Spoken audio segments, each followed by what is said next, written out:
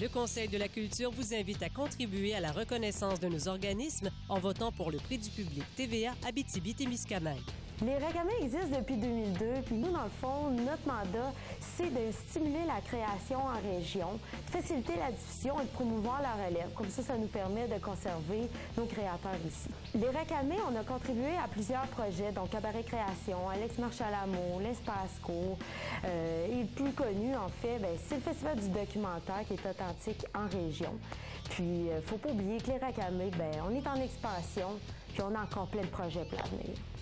Pour un vote à l'organisme de votre choix, rendez-vous sur le site www.tvaabitibi.ca. Votez également à votre bibliothèque et devenez admissible au tirage d'une œuvre d'un artiste de la région en partenariat avec la Fontaine des Arts. Et vous serez invité à remettre le prix lors de la remise en avril présentée par Desjardins.